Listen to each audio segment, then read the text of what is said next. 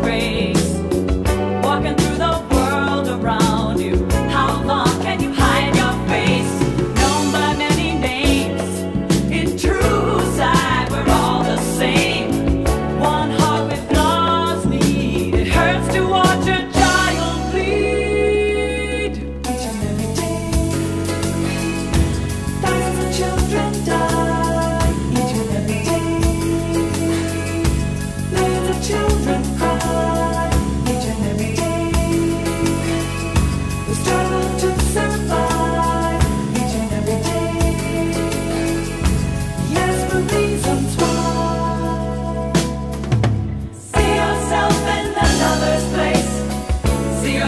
in each other's face.